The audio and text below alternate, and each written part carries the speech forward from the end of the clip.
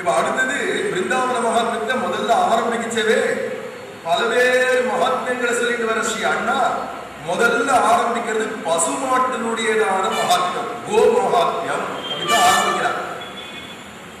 பசுமாடு எவ்வளவு பேருக்கு தெரியுமா? கோ சம்ரட்சணம் அப்படின்னு இருக்கு எல்லா தர்மத்தை உயர்ந்ததா சொல்லப்படுது கோ சம்ரட்சணம் அந்த கோ சம்ரட்சணத்தை தான் முதல் முதல்ல சொல்றார். ஏன்னா இந்த கோக்களை சம்ரட்சிக்கணும்ன்றதுக்காக தான் பகவான் தெக்க வைகுண்ட வாசாய அப்படின்னு வைகுண்டத்தை கூட விட்டுட்டு இங்க கோபாலனாக வந்தான். கோவிந்தன் கோபாலன் அப்படின்னா தனக்கு ஒரு பேர் வரணும்னு ஆசைப்பட்டு வந்தான். எதனாலனா கோவோட சம்பந்தம் பசுமாடோட தனக்கு ஒரு சம்பந்தமோடு ஆசைப்பட்டு வந்தான்.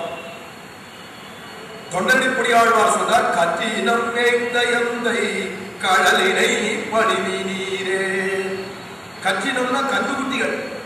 கன்றுக்குட்டிகளை ஒரு அவதாரத்துல அவனை காட்டிலும் நாம போய் அடைய வேண்டிய சரண்யன் வேற ஒருத்தன் உண்டா? இவ்வளவு சௌலபியத்தோட இறங்கி வந்துட்டானே. பகவானுக்கு சௌலபியம் சௌசீல்யம் வாத்சல்யம் சுவாமித்வம் சரண்யத்துவம் அப்படின்னு பல்வேறு குணங்கள் இருக்கு. சௌலபியம்னா ரொம்ப சுலபமா இறங்கி வரான் அப்படிங்கிறோம். இதுக்கு மேல சுலபமா இறங்க முடியாது. ஏன்னா வைகுண்டத்தை விட்டு இப்படி இறங்கி வந்துட்டானே இடையர் குலத்துல வந்துட்டானே பகவான் ஒவ்வொரு யுகத்துல ஒவ்வொரு வர்ணத்துல வந்து அவதாரம் பண்றார். கிருதயுகத்துல பகவான் பிராமணனாக அவதாரம் பண்ணார் வாமன அவதாரம் அதுக்கடுத்தது திரேதாயுகத்துல க்ஷத்ரிய குலத்துல ராமச்சந்திர பிரபுவா சக்கரவர்த்தி திருமகனா அவதாரம் பண்ணார் துவாபர யுகத்துல வைசிய குலத்துல யாதவ குலத்துல பகவான் அவதாரம் பண்ணார் கிருஷ்ணா அவதாரம் அப்படிங்கிறதுனால பகவானே பிராமணன் சத்திரியன் வைசியன்றதான திரைவர்ணிகனாக அவதாரம் பண்ணியிருக்கார். அதுல கோபாலனா இறங்கி வந்துட்டாரு. இவ்வளவு கிருமையா இவ்வளவு சௌலபியமா? இப்படி இறங்கி வந்துட்டாரோ? அதுல கூட பெரிய பெரிய பசுமாடுகளை மேற்கணுமானா அதுல உகப்பு இருக்குமா? சந்தோஷம் இருக்குமா? ஆனா அதிகமா சந்தோஷப்படுறது எதுலனா கண்ணுக்குட்டி மேய்க்கிறது தான் அந்த கண்ணுக்குட்டிகளை கண்டா நமக்கே ரொம்ப பிடிக்கும். பார்த்தாச்சுன்னா. அது குட்டியா இருந்தது மே இப்படி கத்துறதும் துள்ளி துள்ளி குதிக்கிறதும் வார வாரம் தூக்கிட்டு இங்கே அங்கே துள்ளி துள்ளி ஓடுறதும். அதை பார்க்கச்சிருந்தா யாருக்குமே ஆசையானது இருக்கும். கொஞ்சிக்கலாம் போலதான் இருக்கும். அந்த கண்ணுக்குட்டி போய் சேர்த்து கட்டிக்கலாமா? முத்தம் கொடுக்கலாமா? அது தடவி தடவி கொடுக்கலாமா? அதுக்கு ஏதாவது தீனி கொடுக்கலாமா ஆசை வரும். கண்ணுக்குட்டியை பார்த்தாலே ஆசை வந்துடும் கொஞ்சிக்கலாமான்னு. நமக்கெல்லாமே இப்படி இருக்கே. கண்ணபிரான் எப்படி இருக்கும்? கன்று தீனி உகந்த காளாய் என்றும் திருமங்கை சொல்றார். கல்விக்குட்டிகளை மேற்கச்சே பகவான் இனிது உகப்பான் அப்படிங்கிறார். அவ்வளவு சந்தோஷப்படுறான்? அப்பேற்பட்டதான கோமகாத்மியத்தை தான் இங்க ஆரம்பிக்கிறார் ஸ்ரீ அண்ணா. அத பக்ஷாமிகம் பக்தாக கவாம் மகாத்மமுத்தமம் யாசாம் குரரோ நித்யம் சிரசா பகதி பிரபு. இவ எடுத்தடத்திலேயே நான் பசுமாட்டினுடைய மகாத்மியத்தை உங்களுக்கு கோ சொல்றேன். எந்த பசுமாட்டினுடையதான புழுதிய ஸ்வயம் சர்வேஸ்வரனான பரமாத்மா தன்னுடைய தலையில தரிக்கிறாரோ அப்பேற்பட்ட பசுமாட்டுக்கு அது ஒன்னே போதும். அதுவே பெருமை. ஸ்வயம் கிருஷ்ணன் கோதூளி தூசரித்த கோமாளாங்கா அப்படின்னு சொல்லும்படியா பசுமாட்டினுடையதான புழுதிய தன் உடம்புலெல்லாம் தலையிலெல்லாம் போட்டுக்கிறான். அதுவே போதுமே இந்த பசுமாடுகளுக்கெல்லாம் மூலம் காமதேனு. அந்த காமதேனு எப்ப உண்டானா? எப்ப தோன்றினா அப்படிங்கிறார். காமதேனு ததா விஷ்ணு சரண்யம் சரணம் ததா ஒரு சந்தர்ப்பம் தேவாசுரர்களுக்கு அழைச்சி பகவான் க்ஷீராப்தியாகிய திருப்பார்க்கடல மந்திரமலையை போட்டு வாசுகிய கயராக சுத்தி பார்க்கடலை கூட கடையும்படியா சொல்லச்சே அப்படி கடைஞ்சிட்டே இருக்கச்சவே பலவேறு அபூர்வமான வஸ்துக்கள் வெளியில வந்தது. அதுலதான் சிந்தாமணி கல்பக விரட்சம் காமதேனு துளசி கௌஸ்துபம் சந்திரன் உச்சைஸ்ரவசு ஐராவதம் கடைசியில மகாலட்சுமி. ஸ்வயம் மகாலட்சுமியே தோன்றினத்தான அவளுக்கு க்ஷீராப்தி கன்னிகை அப்படின்னு பேரு. சுவாமி புரந்தரதாசர் தன்னுடைய கீர்த்தனத்தை பாடுறார். க்ஷீராப்தி கல்னிகே ஸ்ரீ மகாலட்சுமி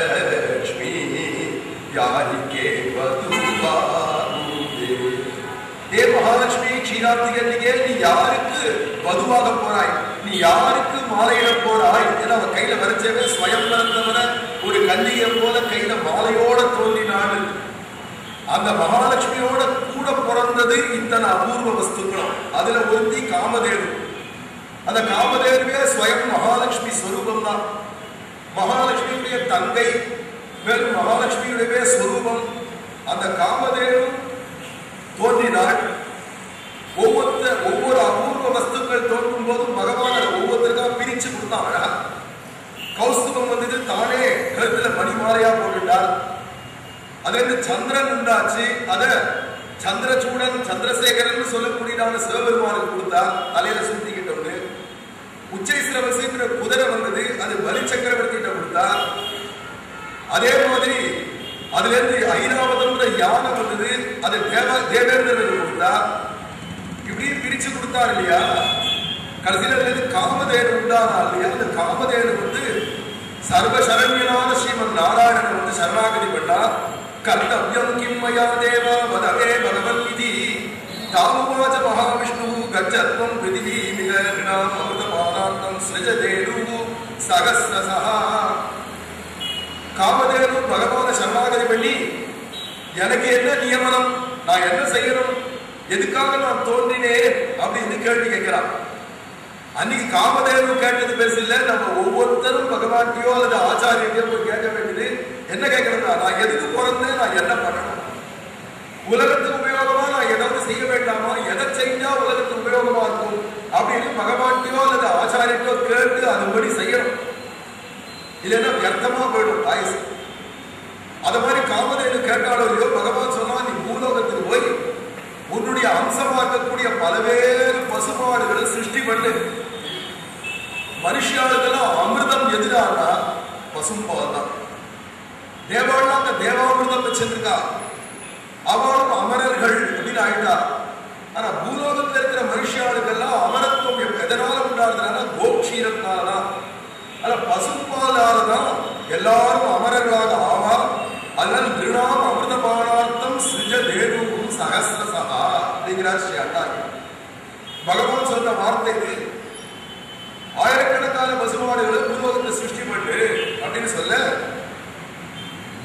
பகவானுடையதான ஆத்மீய சிரசா ஏற்றுட்டு அங்கேருந்து கிளம்பி வந்தார் காமதேவு பூமியில வந்து நிறைய பசுமாடுகளை சிருஷ்டி பண்ணினா. நம்மளாம் கூட பசும்பால் சாப்பிடுறோம். பசும்பால் கூட கிடைக்கிறதான்னு சந்தேகமா இருக்கு. இந்த மாதிரியான டவுன்ல வந்தா கிராமங்கள்ல கிடைக்கும். இப்பெல்லாம் எல்லாம் பாக்கெட் பால்னு என்னென்னமோ பால்கள்லாம் அதுல என்னென்ன கலக்கிறாங்க தெரியல. எதுலோ வருது.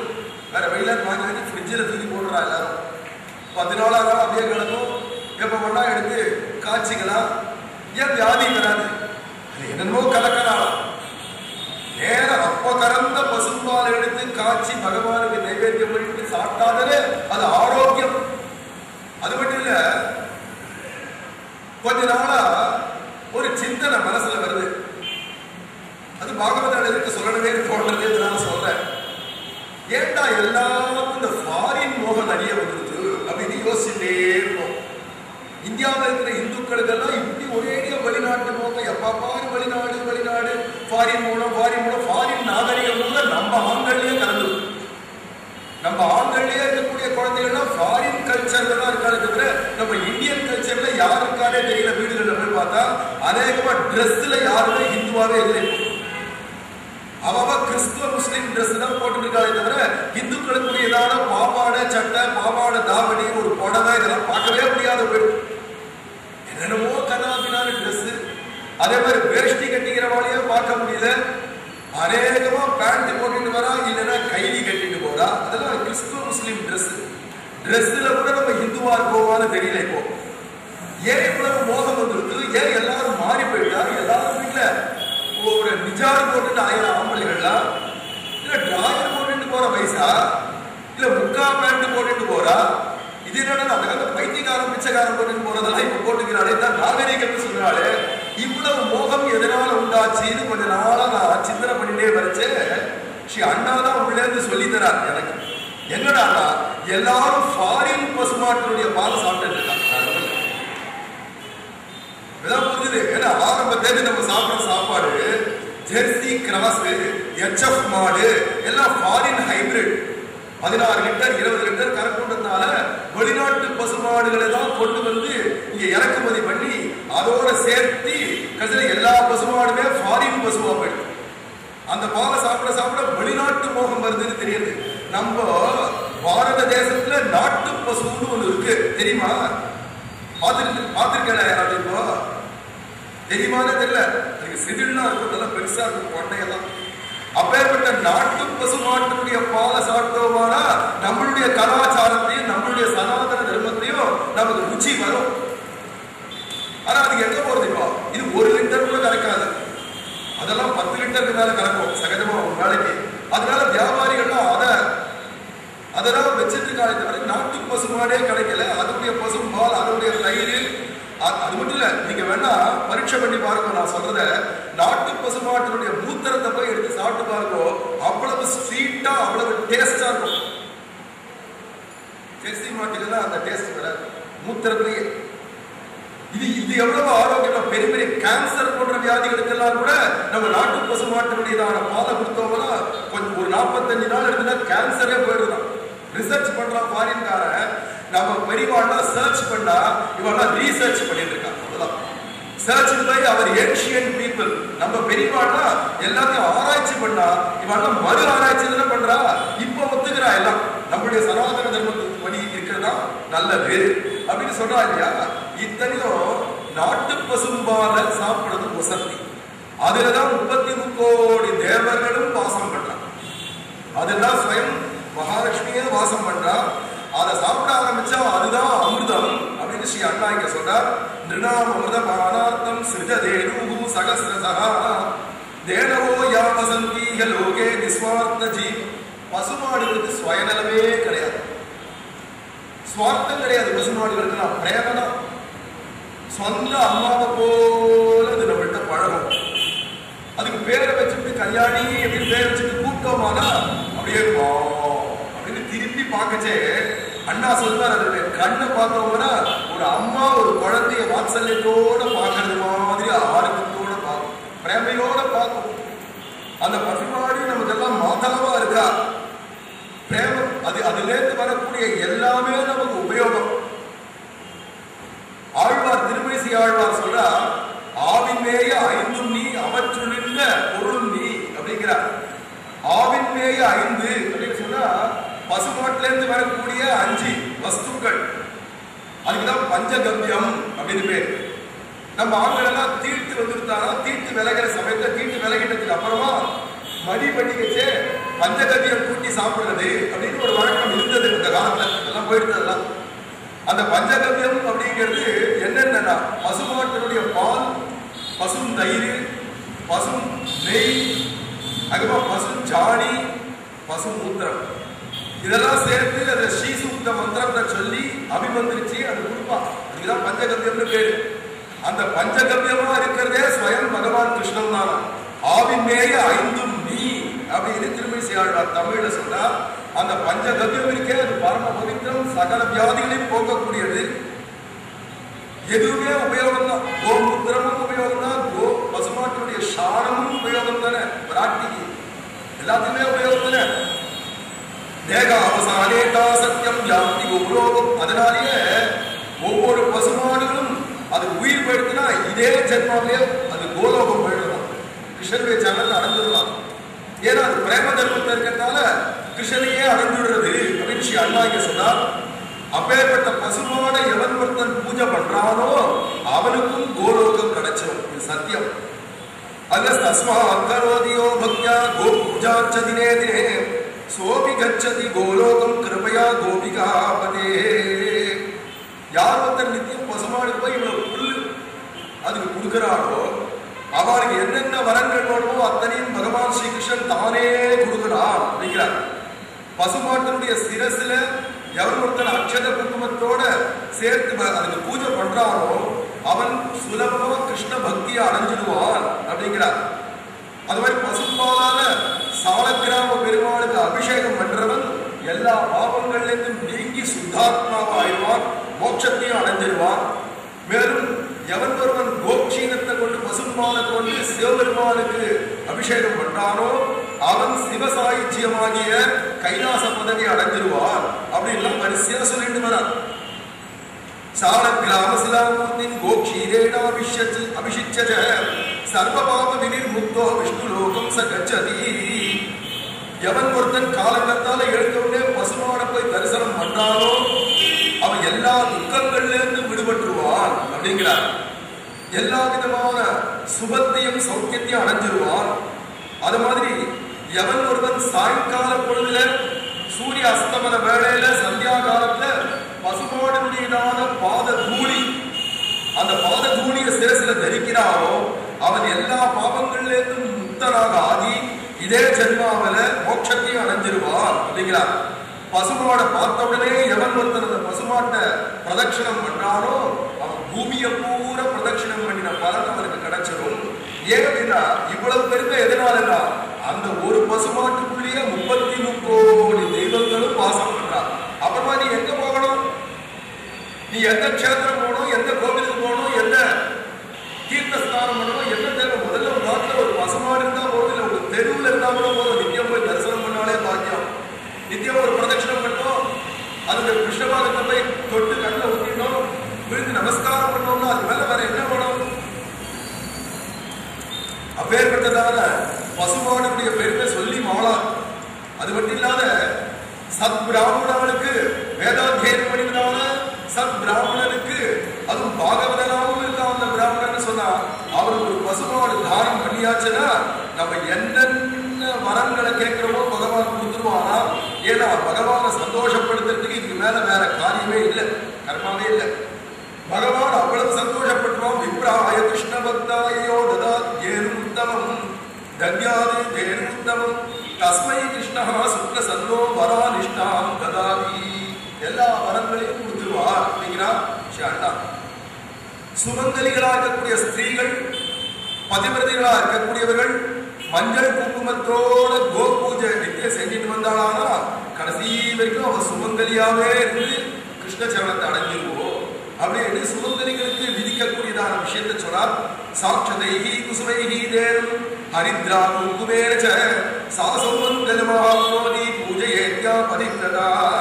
யார் வீட்டுல பசுஞ்சாணியால வீடை மெழுகிருக்காளோ இந்த காலத்தை போடுற டைல்ஸுக்கு பசுமாடி சாரியா அமைச்சு மெழுக முடியும். எல்லாம் என்னமோ வழுக்கிற டைல்ஸா போட்டு போட்டு டம்மு டம்முன்னு அவளே விழறா அந்த காலத்துல மண்ணு தர அழகா இருக்கும். அதுல பசுஞ்சாணினால மெழுகினாலும் அதுல கோலம் போட்டா பாக்கிறதுக்கு பளிச்சுன்னு சுத்தமா இருக்கும். அதனால இங்க சொல்றார் பசுஞ்சாணியால எந்த வீடு மெழுகப்பட்டிருக்கோ கோலம் போடப்பட்டிருக்கோ அந்த வீட்டுல மகாலட்சுமி நித்திய வாசம் பண்ணுவாளாம். நீ நித்திய நித்தியம் பாக்யாத லக்ஷ்மி பாதம்மா அப்படின்னு கூப்பிடணும்னு அவசியம் இல்ல உங்க வீட்டை விட்டு போவே மாட்டாளாம் மகாலட்சுமி ஏன்னா பசுஞ்சமணியால இந்த வீடு மெழுகிருக்கு அதனால நான் இங்கேயே இருப்பேன் அப்படின்னு இருப்பா கோமூத்திரத்தை பத்தி சொல்லச்சே கோமூத்திரம் எப்பிபேன் பக்தியா துரியாத்வா புரோக்ஷணம் நரஹ சர்வரோக வினிர்முக்தோ தேவ ஸ்வீகரிச்சினாலும் சரி கோபுத்திரத்தை புரோட்சணம் பண்ணினா கூட சர்வ வியாதிகள்ல இருந்து விடுதலை அடைஞ்சு இவன் என்னவாவான்னா தேவர்களுக்கு துல்லியமா ஆயிடுவான் அப்படின்னு ஸ்ரீ அண்ணாயர் வயசான மாடுகள் எல்லாம் இப்பெல்லாம் விலைக்கு விட்டுருவா இல்லையா? அப்படி மாடுகளை விலைக்கு விற்காத அதுக்காக உயிர் போற வரைக்கும் அந்த சம்ரட்சணம் யார் பண்றாளோ அவன் பகவானுடைய பிரீதிக்கு ஆளாகி இதே ஜென்மாவில கோலோகம் அடைஞ்சிருவான் கிருஷ்ண சரணத்தை அடைஞ்சிருவான் அப்படிங்கிறார் விருத்தாம் தேனும் வத்சஹீனாம் யோ பக்தியா பாலயேன்னரஹ சஜ பிராப்னோதி கோலோகம் பக்திம் சம்ப்ராப்ய மாதவே. இப்பெல்லாம் அநேகமா பசுமாடுகள்லாம் எங்க போடுறாங்கன்னா கொஞ்சம் வயசாயிடுது அப்படின்னு வித்துடுறான் விலைக்கு வித்துடுறான் இதெல்லாம் கேரளாவுக்கு போடுது அடிமாடம். எல்லாம் வெட்டி வெட்டி மாம்சமாக்கி வெளிநாடுகளுக்கு ஏற்றுமதி பண்ணிடுறாளே. கோ மதம் பண்றா அந்த காலத்தெல்லாம் பசுமாடை எப்படி தெய்வமா மதிச்சாடோ இதுக்கு எதிர்மறையா இப்ப நடக்கிறது. ஆனா எவன் ஒருவன் சொந்த அம்மாவை பாதுகாக்கணுமோ அப்படி பசுமாடை பாதுகாக்கணும் அப்படிங்கிறார் ஏன்னா சின்ன வயசுல குழந்தையா இருந்துச்சு அம்மாவுடைய பால் அப்படிங்கிறது கொஞ்ச நேரம் சாப்பிட முடியும். அப்புறம் பசும்பால் தானே ஆத்தி ஆத்தி கொடுப்பா நமக்கெல்லாம் அப்படிங்கச்சே நமக்கு தாயாக ரெண்டு தாயார் உண்டு. ஒன்று பெத்த அம்மா மற்றொன்று பசுமாடு. ரெண்டுமே தாயார் தான் ரெண்டுமே குழந்தையிலேருந்து நமக்கு பால் கொடுத்து வளர்த்த மாளா இருக்கிறதுனால அப்பேற்பட்ட கோமாத்தாவை அனாவசியமா வித்துடக்கூடாது. வயசான பசுமாடு அதுக்கா இயற்கையா உயிர் போகிற வரைக்கும் வச்சு பராமரிக்கணும். பாதுகாக்கணும். ஆனா கோச பிரச்சனைன்றது ரொம்ப உயர்ந்தமான உயர்ந்ததான தர்மம் அப்படிங்கிறார். இந்த இடத்துல பிராசங்கிகமா ஞாபகம் வருது ஒரு விஷயத்த சொல்றேன். சுவாமி ராமானுஜருக்கு எழுபத்தி நாலு பிரதான சிஷ்யர்கள் இருந்தால் எழுபத்தி நாலு சிம்மாசனாதிபதிகளாக அவரெல்லாம் நியமிச்சார் ராமானுஜர். அதுல ஒரு பெரியவர் ஒரு ஆச்சாரியர் அவருக்கு கோபடத்தாழ்வான் அப்படின்னு பேரு. இந்த இடத்துக்கு அது அவசியம் அதனால அந்த கதையை சொல்றேன். அந்த கோபடத்தாழ்வான் அவருக்கு பேர் வந்ததே அதுக்கு என்ன காரணம்னா சகல சாஸ்திரத்திலையும் பாரங்கதராக ஆகி சர்வ அனுஷ்டானத்திலையும் தவறாத செய்யக்கூடிய அந்த பெரியவர் ஒரு நாள் கூட கோப கண்ணபிரான வச்சு பூஜை பண்ணதில்லை. பகவானுக்கு பூஜையே பண்ண மாட்டாங்க.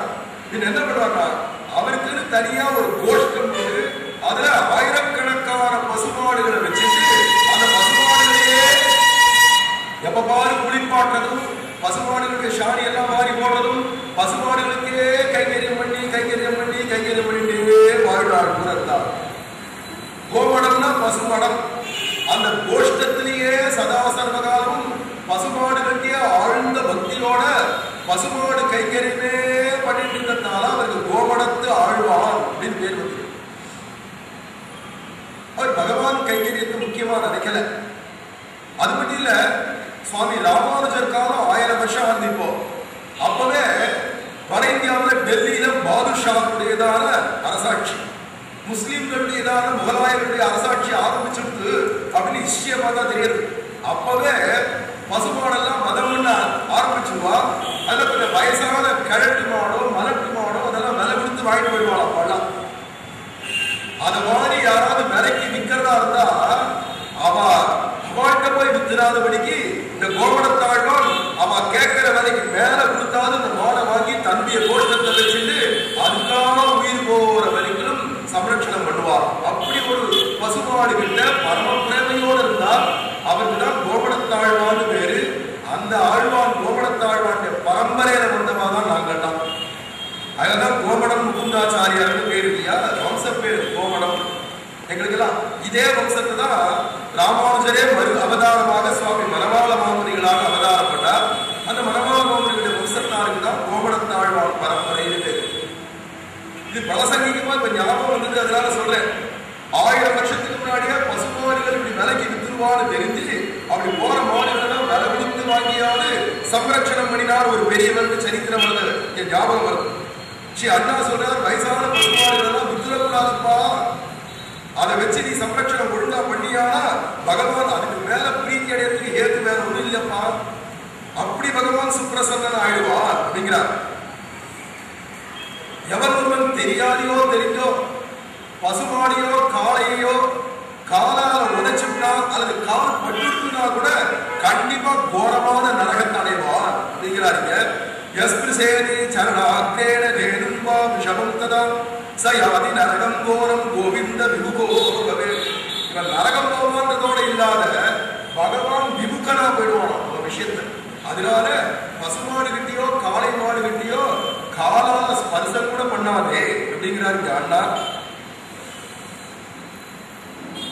இப்படியெல்லாம் கோமாதாவுடைய கோமகினிய விஸ்தாரமா ஒரு அத்தியாயத்தை சொல்லிட்டு அதுக்கு அடுத்தது பிரேம தர்மத்தை ஆரம்பிக்கிறார் யோஷி புருஷ சம்யோகே யாவதிச்சா பிரஜாயதே கோபீபாவம் ந ஜானந்தி தாவகா தாவது காமபராஜனாக எவனுடைய ஹிருதயத்துல காமம் இருக்கோ அவனுக்கு பிரேம புரியாது எவன் ஹிருதயத்துல பிரேமம் இருக்கோ அவனுக்கு காமமே தெரியாது இதுதான் ரகசியம் ஏன்னா கிழக்கு கிழக்கு பக்கமா போயிட்டே மேற்கு பக்கமா போக முடியுமாட்டா கிழக்கு பக்கமா போனா கிழக்கு பக்கம் தான் போக முடியும். மேற்க நோக்கி போனா மேற்க நோக்கி தான் போக முடியும். கிழக்க போயிட்டே மேற்க போ மேற்க போயிட்டே கிழக்க போனா முடியாது. அத மாதிரி பிரேமம் இருக்கிற இடத்துல காமம் வராது காமம் இருக்கிற இடத்துல பிரேமம் வராது. ஸ்ரீ அண்ணாவே கீர்த்தனத்துல பாடுறான் லேசம்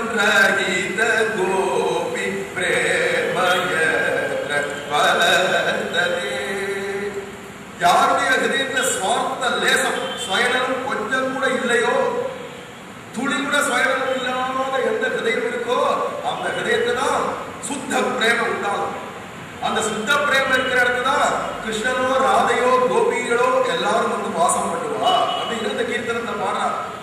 அவ பிரேமைங்கிறது ரொம்ப சுத்தமானது. ஜன்மாந்தர சகசிரேஷு பிரகுர்மன் பக்தி சாதனம் அந்தே பிராப்னோதி கோவிந்தே. பிரேம பக்தி மகீதுகிம் பல கோடி ஜென்மாக்கள்ல படிக்கிறதான பல்வேறு விதமான சாதனானுஷ்டானங்களுக்கு பலனாக கடைசியில ஏதோ ஒரு ஜென்மாவில நமக்கெல்லாம் கோவிந்தன் பிரேமம் உண்டாகுது அப்படிங்கிறார். இது ஏதோ உத்தவன்னு சொல்றார் யாக யோக விரத தான அனுஷ்டானங்கள்லாம் பல கோடி ஜென்மாக்கள்ல யார் பண்ணினாலோ அவனுக்கு தான் பலனாக கடைசியில கிருஷ்ண பிரேமம் உண்டாகும் அப்படிங்கிறார். பகவோ துர்லபா செய்வ கிருஷ்ண பிரேம பராதனாக பிரகாசஜே குவாபி பாத்திரே பிரேம பக்தி அகைத்தி யாரோ